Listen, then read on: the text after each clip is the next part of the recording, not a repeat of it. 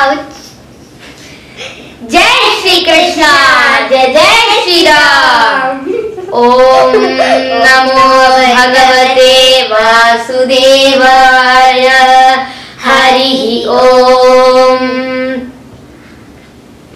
So, today and now we are going to see the shloka number 32. भूतभव्यभवन्नाथः पवनः पावनो नलः कामः कामकृत्कान्तः कामः कामप्रदः प्रभुः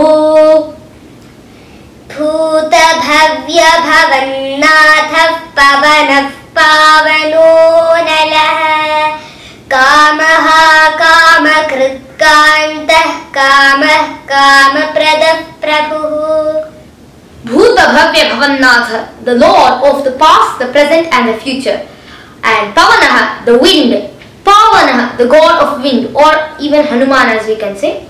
Uh, um, um, that is the son of the god of wind, Vayu. So, Pavana, Pavanaha and then Analaha.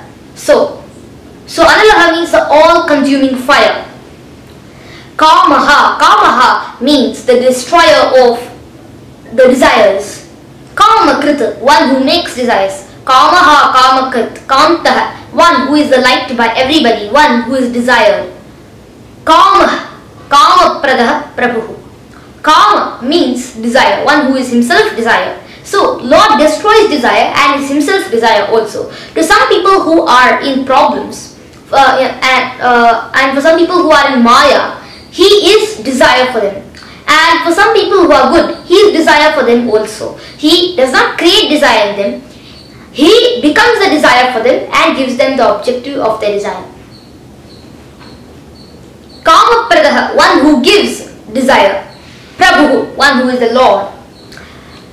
The all supreme Lord. Prabhu. So this is the meaning of the 32nd shloka. Thank you. Thank you. Jai Shri Krishna. Jai Jai Shri Ram.